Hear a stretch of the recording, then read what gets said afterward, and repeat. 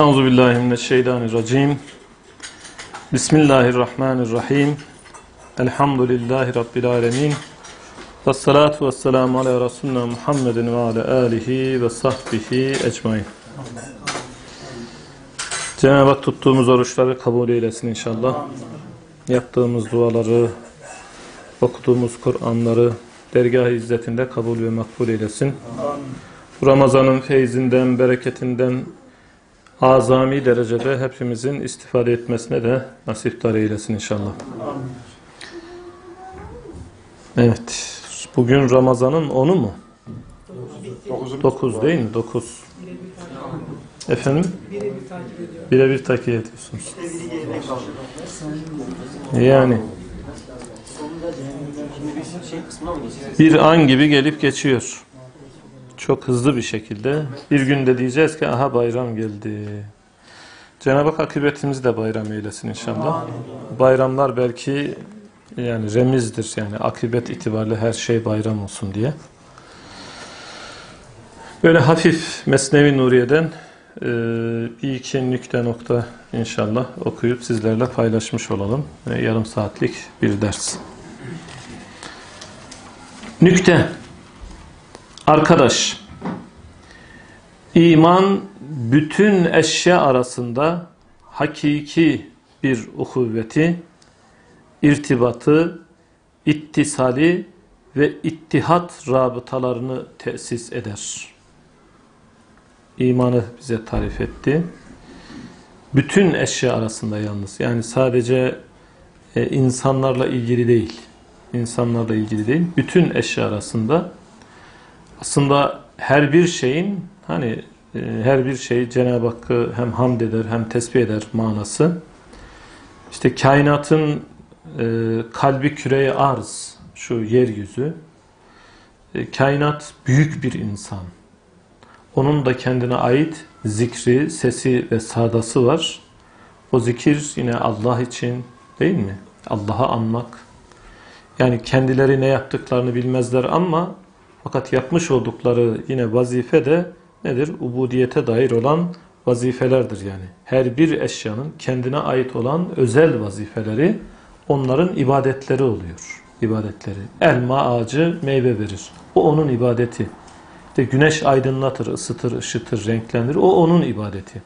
Döner. İşte dünya döner. O dönmek onun ibadetidir yani. Allah'tan almış olduğu emri bir hakkın ne yapar?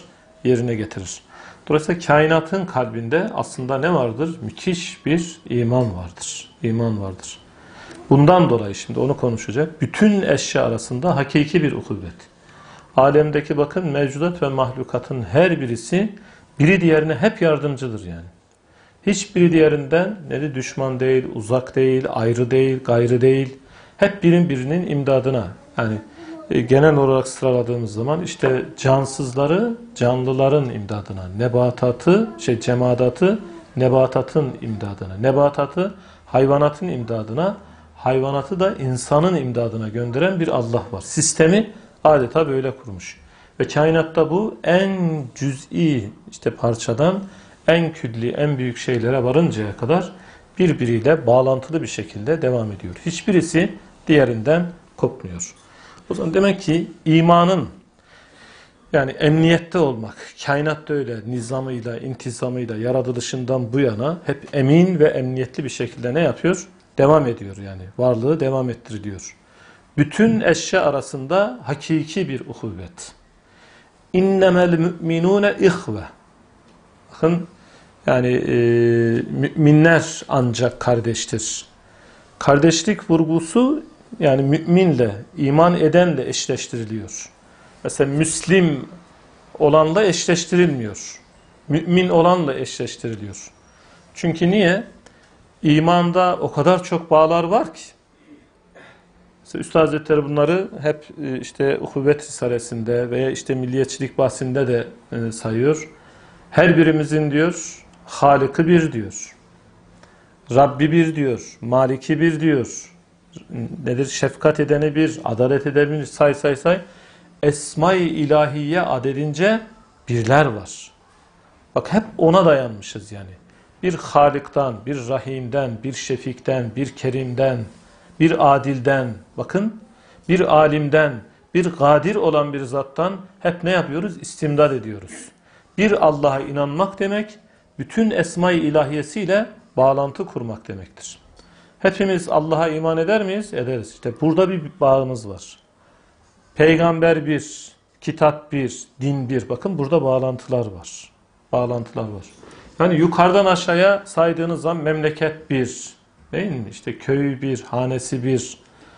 Aşağıya doğru sayıyorsun. Milliyeti bir, aşağıya doğru sayıyorsun.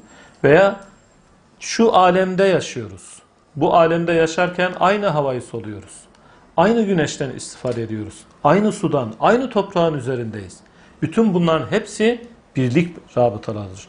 Bütün bu birlikler nereden aslında nedir? İnsanı uhuvvete, muhabbete. Kardeşlik dediğimiz şey birlik manasıdır. Beraberlik manasıdır. O kardeşliğin kuvveti nereden kaynaklanıyor? İmandan. Demek ki iman ne kadar inkişaf ederse, iman ne kadar kuvvetli olursa müminler arasındaki bağlantılar da, müminler arasındaki irtibatlar da, müminler arasındaki yardımlaşma da, müminler arasındaki kardeşlikte, birlik, beraberlik, işte ittihat bağları diyoruz. O beraberlik İslam, alemi İslam'ın ittihadı. Temeli nedir? İmanın inkişafıdır. Onun için Bediüzzaman Hazretleri hayatı boyunca hep o imanın inkişafına ne yapmış? Çalışmış. İman bütün eşya arasında hakiki bir uhuvveti, irtibatı, ittisali ve ittihat rabıtalarını, birlik bağlarını oluşturur, tesis eder. Küfür ise tam tersi şimdi küfrü anlatacak bize. Küfür ise burudet gibi, soğukluk gibi, soğuk gibi. Bütün eşyayı birbirinden ayrı gösterir ve birbirine ecnebi nazarıyla baktırır. Yabancı nazarıyla. Normalde eşya birbiriyle iç içedir. İç içedir. Ama küfür nazarıyla bir adam aleme bakacak olsa sanki eşya adeta tamamen birbirinden ayrı, hepsi kendisine müstakil, hepsi kendi derdine düşmüş, kendi telaşesine düşmüş, birbirine tamamen yabancı şekilde birbirinden ayrı gösterir. Soğuğun özelliğini bizim nazarımıza veriyor. Demek ki küfürde bir soğukluk var. Soğukluk var yani. Zaten küfür dediğimiz şey aslında hakikati örtmektir. Hakikati örtmeye küfür deniyor. Bu tren raylarını bilirsiniz. Tren e, e, rayları mesela diyelim e, döşenirken araları sıfır bir şekilde döşenmez. Muhakkak bir açıklık bırakılır. Mesela diyelim kışın döşeniyorsa açıklık daha çok bırakılır. Daha çok. Çünkü niye? Demir kendi içine çekilmiştir. Yazın sıcağı gördükçe genleşecektir. Genleşince bir ray diye rayı itmesin diye ne yapacaktır? Gelip gelip bir yerde beraber olacaklar. Ama hiçbir zaman biri diğerini basıp da eğmeyecek, büyümeyecektir. Aynı şekil bu yüksek gerilim hatlarında, yüksek gerilim hatlarında belki hep dikkatinizi çekmiştir. Ee, o e, elektrik e, telleri yani çelik halatlarla onlar e, çekilirler ve onlar belli bir eğimle çekilir. Dümdüz çekilmez yani. Dümdüz çekildi miydi sıcaklık ve soğukluk ne yapacaktır? Onun sistemini tamamen bozacaktır. Soğuk olduğu zaman genleşecek. Direkler birbirine ondan sonra bakacaksın ki sıkıntı. Ona sehim deniyor. Eğim. Sehim verme yöntemleri vardır yani. Yani hangi direkler arası hangi işte yüksek gerilimde ne kadar sehim, ne kadar eğim vereceksin bunların hepsi hesabı kitabı yapılır. Elektrik mühendisi var mı içimizde? Yok. Neyse onun adına biz konuşmuş olalım yani. Bunların hepsi şey, böyle. Ha, niye? Soğuğun özelliği. Soğuk bir şeyi ne yapar? Birinin diğerinden ayrı gösterir, uzaklaştırır. Her bir şeyi kendi kabına çeker. Küfür de adeta soğuk gibi her bir şeyi biri diğerinden tamamen ayırıyor. Kardeşlik, uhuvvet, muhabbet diye hiçbir şey kalmıyor. Uhuvvet, muhabbet, kardeşlik veya buna benzer ne kadar iyi vasıflar varsa hepsi imanın vasfıdır. Bunu özellikle bilmiş olalım. Bunun içindir ki madem imanda hakiki uhuvvet, irtibat, ittisal ve ittihat rabıtaları var. Bunun içindir ki müminin ruhunda bakın okuyorum. Müminin ruhunda adavet, kin vahşet yoktur. Eğer o iman hakiki bir iman ise, kamil bir iman ise, o müminin ruhunda ne olmaması gerekiyor? Düşmanlık olmaması gerekiyor. Belki düşmanlığa düşmanlık edebilir. Ama düşmanlık olamaz. Başka? Kin. Daha başka? Vahşet. Yoktur. Olmaz, olamaz. Olamaz. Üstad Hazretleri e, Lemaat'ta sözler, Lemaat'ta bir bahis açıyor. Mümin, Müslim e, bir kısım alimler aynı demişler. Oradan da yola çıkarak bir ifade kullanıyor. Diyor ki, her Müslimin vasfı,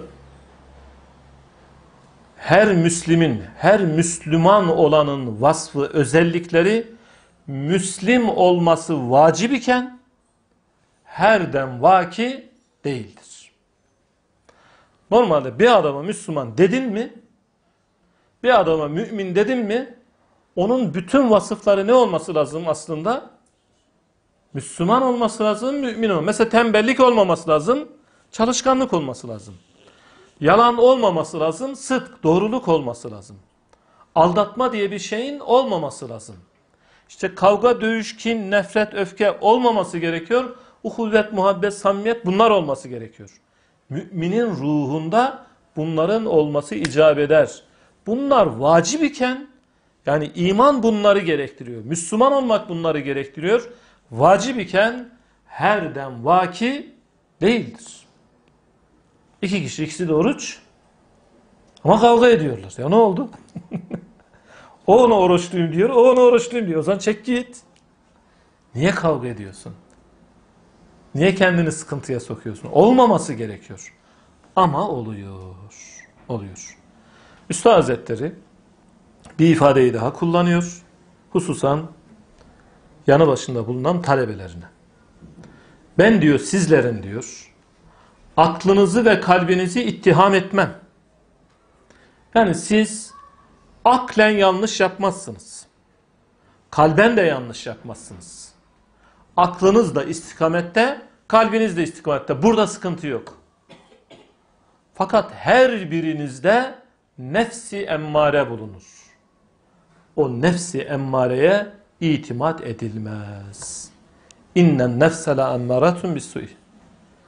O kötülükleri isteyen nefis ne yapar? Daima kötülükleri ister. Daima ister. Dolayısıyla nefse ne yapılmaz? İtimat edilmez. Nereden yanlışları yapıyoruz? Buralardan yani. O zaman nefsin ne yapılması lazım? İyi bir şekilde terbiyeden geçmesi gerekiyor. O imanın kuvveti itaatledir, ibadetledir. Hep bunun üzerine vurgu yapıyoruz yani. Cenab-ı Hakk'ın şu Ramazan'da şu orucu tutturmasının altında yatan en önemli sebeplerden bir tanesi. En önemli sebeplerden bir tanesi bakın açın orucun hikmetlerinde birinci hikmet. Birinci hikmet. Cenab-ı Hak oruçla emir dinlemeyi öğretiyor bize. Emir dinlemeyi. Ramazan-ı Şerif'te diyor, inananlar, Müslümanlar muntazam bir ordu gibi buyurunuz emrini bekliyorlar gibi bir tavrı ubudiyet diyor ne yaparlar? Kesbederler. Bir kulluk hali. Buyurunuz emrini bekliyorlar gibi. Muntazam bir ordudan bahsediyor. Muntazam bir ordudan. Ne demek? Acemi bir asker düşünün. Acemi asker yanlış yapsa dahi cezası yoktur. Askerden kaçsa dahi, firar etse dahi yine cezası yoktur. Çünkü yemin etmemiş. Acemi asker. Yemin ettikten sonra cezalar başlıyor. Acemilik dönemini geçirmiş. Ondan sonra yemin etmiş. Nizamlı, intizamlı bir ordu haline gelmiş. Nizamlı, intizamlı ordu ne demek? Komutan ne emrederse onu yapan demektir. Uygun adım marş dediği zaman yürür. Kıt a dur dediği zaman da durur. Durur. Bu muntazam ordunun özelliğidir. Asker demez ki ya komutanım ne güzel yürüyorduk biraz daha yürüyelim demez. Komutan dur dedi mi durur. Yürü dedi mi yürür. Niye yürüyoruz diye soru sormaz.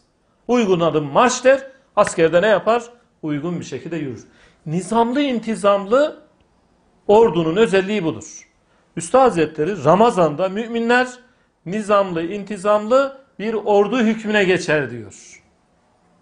Akşama yakın buyurunuz emrini bekliyorlar gibi buyurunuz emrini bekliyorlar gibi. Ne demek yani? Bir beklemedeyiz. Beklemedeyiz.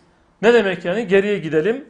Sahur vaktinde sahurumuzu yaparken imsak olduğu anda hoca efendi işte müezzin minareden Allahu Ekber Allahu Ekber diye ezanı okumaya başlayınca aslında Cenab-ı Hak bize ne emir verdi? Kıt a dur. Doğru mu? Kıt a dur. Duruyoruz. Bize helal olan şeyler yasaklandı. Şunu yapmayacaksın, şunu yapmayacaksın, şunu yapmayacaksın, şunu yapmayacaksın. Yasaklandı. Kıt a dur. Emir dinliyoruz. Orucun en önemli özelliklerinden bir tanesi emir dinlemeyi öğretmektir. Bir ay boyunca Cenab-ı Hak bize bunun ne yapıyor? Talimini yapıyor. Sahurdan iftara kadar. Bu kıt a dur. Ne zamana kadar? İftar vaktine kadar. İftar vaktine 16 saat mi? 16 saat. Şu anda kaç saat ediyoruz? Bizimki hesaplayan var mı? Efendim? 16 saat. 16 saat boyunca emir dinliyoruz. Normal vakitlerde helal olan şeyler sana haram. Yiyemez. Şunu yapamazsın. İftar vakti geldiği zaman Cenab-ı Hak ne yapıyor? İkinci bir emri veriyor. Tabiri diğerle uygun adım marş. Buyurunuz. Ne diyor orada? Buyurunuz emrini bekliyorlar gibi bir ubudiyet tavrı. Ubudiyet kulluk bu. Emir dinlemek. Emir dinlemek. İşte o emir dinlemeyi öğretince sen de ne yapıyorsun? Terbiye olmuş oluyorsun. Rububiyetin orada rububiyeti nazarımıza veriyor. Mevcudat üzerindeki rububiyetin tecellisi senin üzerinde de bu şekilde kendisini göstermiş oluyor. Yani emri dinleyen insan tam terbiye olmuş oluyor. Tam terbiye olmuş oluyor. Asıl terbiye emir dinlemektir. O acemilik dönemindeki askerlerde ne yapıyor? Bir ay boyunca mı? Yani bir ay mı acemilik dönemi? Bir ay boyunca emir dinlemek için ne yapılıyor? Terbiye ediliyor. Bir ay sonra tam terbiyeyi almışlar. Artık komutan ne diyorsa onu yapıyor. Ha. İşte bizim Ramazan'dan sonraki 11 ayda tam emir dinlememiz için Cenab-ı Hak ne yapıyor? Sene içerisinde bir ayı emir dinlemeye ayırtıyor. Emri dinleme talimi yaptırıyor bize. Her sene bir defa bir ay boyunca bize ne yapıyor? Bunu yaptırıyor. Ta ki müminin vasfı olan, Müslim'in vasfı olan o güzel vasıflar o müminde tam yerleşsin ve ömrü boyunca da böyle ne yapsın? Devam edip gitsin. Kafirin ruhunda bunun içindir ki müminin ruhunda adavet, kin, vahşet yoktur. En büyük bir düşmanıyla bir nevi kardeşliği vardır. Ya Allah yaratmış bizi de. İkimizi de Allah yaratmış. Ha bu noktada kardeşiz. Ya. Kafirin ruhunda peki kafirde ne var? Hırs. Adavet olduğundan düşmanlık. Kafir en büyük düşmanlığını kime yapar? Kime yapar? Allah'a. En büyük düşmanlığı Allah'a yapar. Ne yapar? Var olan Allah'ı yok der. İnkar eder. En büyük düşmanlık. Bir kere düşmanlık küfrün içinde var yani. Küfrün içinde düşmanlık olduğundan dolayı o küfrü alıp da kabul eden o küfürle müsemma olan, kafir olan insan ruhuna da neyi yerleştiriyor? Düşmanlığı yerleştiriyor. Düşmanlığı yerleştiriyor. Onun için düşmanlardan kurtulmak için mümin yapmak lazım bunu söyleyelim. Yani vazifemiz çok büyük. Sağımızda solumuzda çok sıkıntılar var. Kafirin ruhunda hırs, adalet olduğu gibi nefsini iltizam ve nefsine itimadı vardır. Kendine güvenir ve kendini beğenir. Bu önemli. Bu sırra binaendir ki, şimdi bazen soruluyor. Neden bu dünyada kafir daha çok galebe çalıyor? Sebebi bu özellikler. Hırs var, düşmanlık var, kendine güvenmek var, kendini beğenmek var. Bundan dolayı bu sırra binaendir ki dünya hayatında bazen galebe kafirlerde olur. Dünya hayatı cihetiyle konuşuyoruz.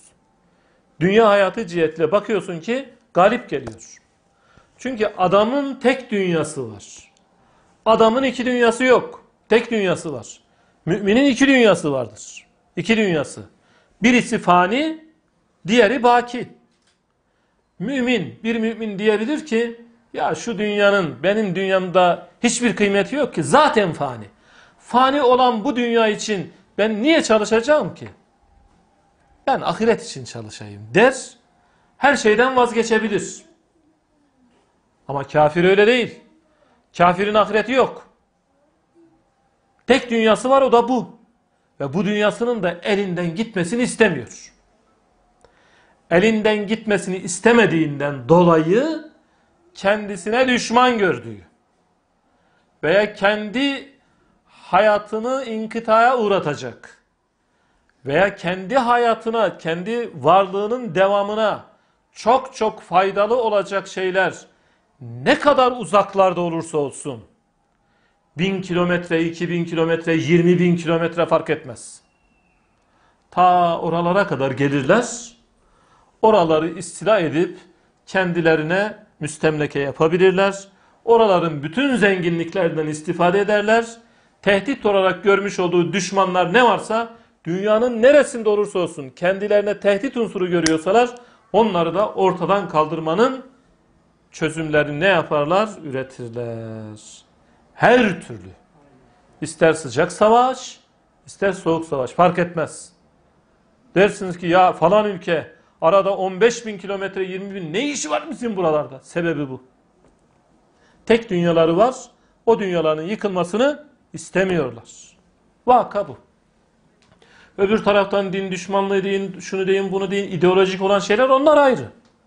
İdeolojik şeyler farklı, işin bu boyutu farklı. Bundan dolayı kendi hayatına sıkıntı, zarar gelmesin diye kendi hayatını devam ettirmek lazım. Çünkü tek dünya. Mutluluğu bu dünyada yaşayacak.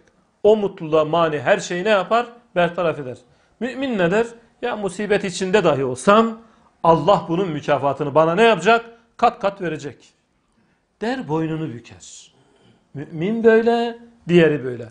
Ondan dolayı bazen galebe ne yapar? Onlarda olur.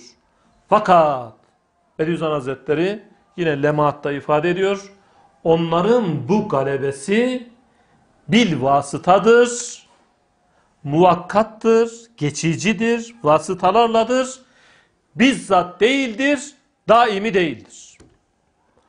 Akibet itibariyle akibetün lil muttakin diyor. Çarpar onu ikaba. Ne demek yani? Alem ahirette asıl mükafat görecekler müttakilerdir. O müttakilerin akıbeti onları ne yapar? Azaba çarpar. Onlar cehenneme, sen nereye? Cennete. Galebe kimde? Kim galip geldi? Mümin. Ama akıbet itibariyle. Ama daimi, ebedi. Ha, işte mümin hep buraya bakar. Buraya bakar. Ha, öyle iman edelim ki Cenab-ı Hakk'ın emirlerine öyle riayet edelim ki hem Kur'an'daki şer'i emirlere şer'i emirlere bununla ibadetimizi, taatimizi, imanımızı ne yapmış olacağız? Yerine getirmiş. Aynı zamanda Cenab-ı Hakk'ın kainatta koymuş olduğu kevni emirler, adetullah kanunları. onlara da tam riayet edecek olsak hem dünyada galebe hem de ahirette galebe kimin olacaktır? Müminin. Bu ikisi de bizim elimizde. Bu noktada geri durmayacağız. Geri durmayacağız. Biz de bu noktada kendimize düşen vazifeyi ne yapacağız? Bir hakkın yerine getireceğiz. İslami medeniyetin hakkıyla yaşanabilmesi için Bediüzzaman Hazretleri ısrarla vurguluyor. Bu zamanda ilahi kelimetullah Allah'ın ismini yüksek ve yüce tutmanın yolu maddeten terakki etmektir. Demek ki Cenab-ı Hakk'ın kevni emirlerine de riayet etmekle de mükellefiz. Eğer o kevni emirlere riayet etmezsek bu dünyada cezasını görüyoruz. Şu şer'i emirlere riayet etmezsek ahirette cezasını görüyoruz. İkisinin ceza yerleri farklı. Kevni emirlere riayet etmeyip bu dünyada cezasını görünce kafir sana galip oluyor. Kafirin galip olmasına müsaade etmeyeceğiz.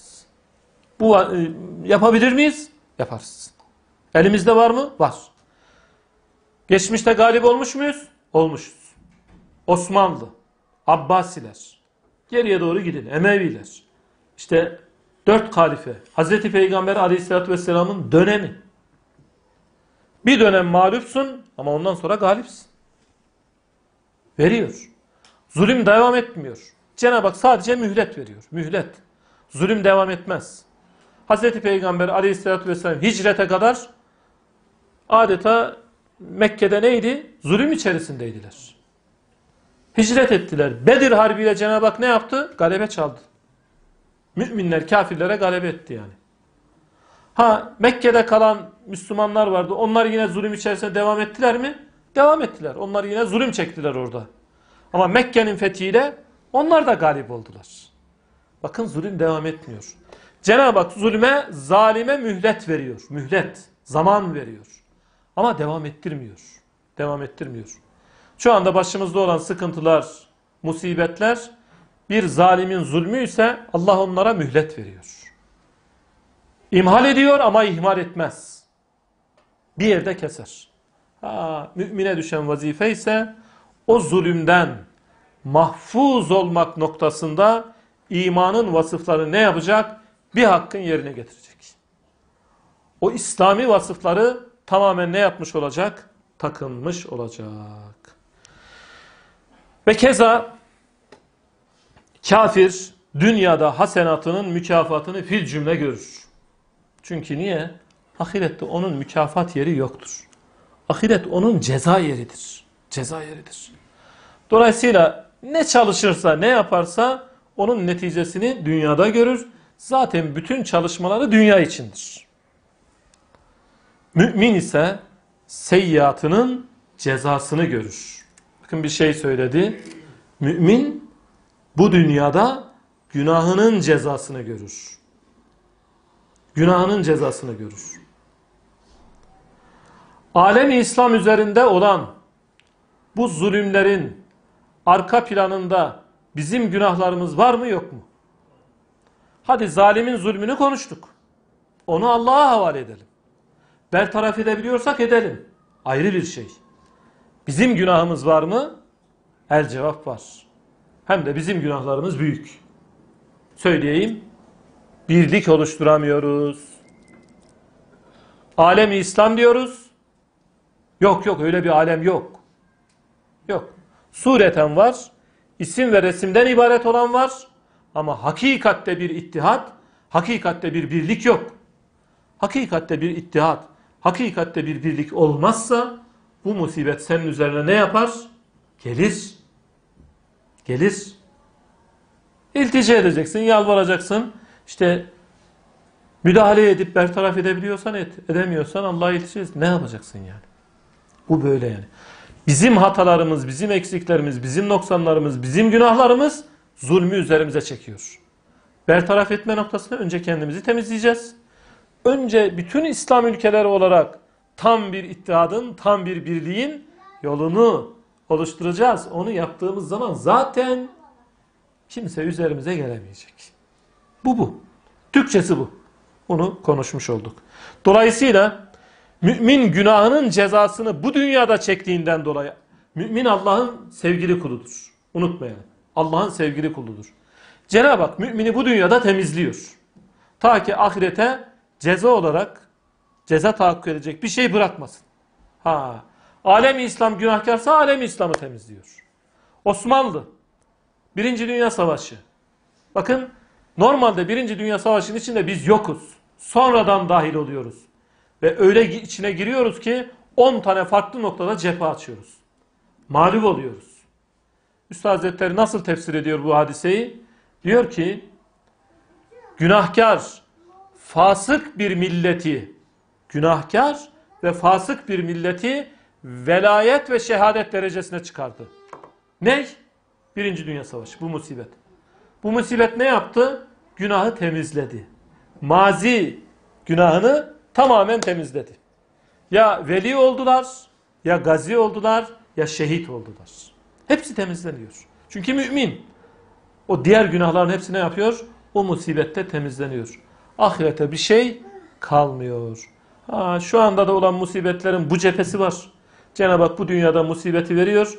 Bizi temizliyor ta ki ahirete bir şey bırakmasın. Bu cephesiyle şükür gerektiriyor.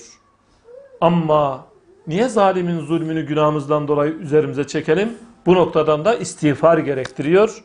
Kendimizi kendimiz temizleyip günahlarımızdan nadan olup o ittifakı tam sağlamamız lazım. Bunun için dünya kafire cennet yani ahirete nispeten mümine cehennemdir. Dünya, dünya cephesiyle kafirin cenneti. Gidin Avrupa ülkelerine görürsünüz bunu. Dersiniz ki ya hakikaten bunlar cennette yaşıyorlar yani. Öyle tanzim, öyle imar ediyor, öyle düzen, öyle nizam ki ya bu hali görüyorsunuz yani. Ama iç dünya itibariyle cennette değiller. Kalpleri, ruhları tamamen nerede? Boşlukta. Orada boğuluyorlar. Orası başka bir şey. Yani ahirete nispeten. Ahirete nispet edince böyle. Çünkü niye? Ahirette müthiş bir cehennem azabı var. O cehennem azabına nispeten bu dünya onlara cennet hükmünde. Mümine cehennemdir. Yani saadeti ebediyesine nispeten Cenab-ı Hak ahirette vereceği cennete kıyasladığınız zaman mümin için bu dünya bir nevi cehennem hükmündedir. Yoksa dünyada dahi mümin 100 derece ziyade mesuttur denilmiştir. Yani mesut mutlu demek. Mutlu demek. Mesela Avrupalıların refah düzeyi yüksektir ama mutlu değillerdir. Mutlu değillerdir. Refah düzeyinin yüksek olması mutluluk manasına gelmez. Adam dünyanın bir numara zengini ama intihar ediyor. Ya niye intihar ediyorsun? Her şey elinde var. Mutlu değil. O boşluğu bakıyor ki para doldurmuyor. Para ona mutluluk vermeyince kendisini madem böyle diyor her şeyi tatmışım diyor. Mutlu olamıyorum. Öyleyse bu hayattan vazgeçiyorum diyor. Ama mümin fakiri, fukarası, şuyu buyu fark etmez. Nasılsın nineciğim, nasılsın dedeciğim? Elhamdülillah evladım. Bu elhamdülillah mutluluğun, saadetin anahtarıdır. Onun içerisinde ne var? Bir mutluluk emaresi görünüyor. Ve keza iman insanı ebediyete, cennete layık bir cevhere kalbeder. En nihayette mümin nereye gidecektir? Cennete. Cennete. İmanının kurtulması şartıyla cennete gidecektir. Ve cennetin kapısını açan anahtar imandır. Başka bir şey değil. Mümin olmayan hiç kimse oraya giremeyecek. Mümin olma birinci şart. Birinci şart. İman insanı ebediyete, cennete layık bir cevhere kalbeder. O cevher orada açılacak. Öyle bir açılacak ki cennetin bütün nimetleri o cevherden fışkıracak adeta. Mesela imanı billah rüyetullah cevherini şey mücevherini ortaya koyacak. Rüyetullah. Onun neticesi o. Peygamberlere iman peygamberlerle beraber olmayı getirecek. Günahlardan muhafaza olmak orada Cenab-ı Hakk'ın vereceği nedir? Hurilerdir, kılmanlardır. Onlarla olan birliktelik ve beraberlikleri netice verecek. Bu dünyadaki yapılan bütün ibadetler orada nimetler, meyveler şeklinde ne yapılacak? Takdim edilecek. Adeta biz bu dünyadaki her bir şeyimizle, hasenatlarımızla bir taraftan sarayımızı yapıyoruz, diğer taraftan tanzim ediyoruz, bahçemizi tanzim ediyoruz, meyveli ağaçlarımızı, işte nedir, e, suları, işte baldan, sütten, şerbet, bütün bunlar, e diğer taraftan bütün hizmetçiler, bütün bunların hepsi o sarayın büyüklüğü, sana, sana verilen o hususi cennetin büyüklüğü, senin bu dünyadaki ibadetlerinin keyfiyeti nispetinde olacak. Küfür ise ruhu, kalbi söndürür, zulmetler içinde, karanlıklar içinde bırakır. Çünkü iman kabuğunun içerisindeki lübbü gösterir. İman daima çekirdeği işaret eder. Çekirdeği işaret eder. Dışa nazar ettirmez. Küfür ise lüb ile kabuğu tefrik etmez. Çekirdekle kabuğu birbirinden ayırt etmez. Kabuğu aynen lüb bilir. Çekirdek bilir. Ve insanı cevherlik derecesinden kömür derecesine indirir. Bu şu demek. Şu dünya bir kabuk. Bu kabuğun çekirdeği ahiret. Ahiret. İman daima insanı ahirete yönlendirir. Ahirete yönlendirir. Küfür ise ikisini tefrik edemez, birbirinden ayırt edemez. Kabuğu aynen çekirdek bilir. Yani şu dünya hayatını ahiret hayatı gibi zanneder ve bundan başka bir hayat yok der. Cennet dersen burada ver, başka yerde yok der. Bu dünyayı cennete çevirmeye çalışır ve cenneti burada yaşamaya çalışırlar. Oysa bu dünyada cennet yaşanmaz. Yaşanmaz. Cenab-ı Hakk'ın ihsan ve ikram edeceği cennet bütün eksiklerden, noksanlardan azadedir. Azadedir. Onun için demişler bütün nekaisten müberra olmak, bütün noksanlıklardan uzak ve beri olmak, cinanı cennetin, cennetin bahçelerinin özelliklerindendir. Özelliklerindendir. Cenab-ı Hak o cenneti hepimize nasip eylesin inşallah. Bu dünyada öyle çalışalım, öyle gayret edelim ki kabukla çok meşgul olmadan ahirete yönlenip adeta bir ahiret adamı gibi nedir? Cenab-ı Hakk'ın kulu olup o kulluğu yerine getirmeye gayret edelim. Allah da o kulluğu bizden kabul eylesin inşallah. Velhamdülillahi Rabbil Alemin. El Fatiha.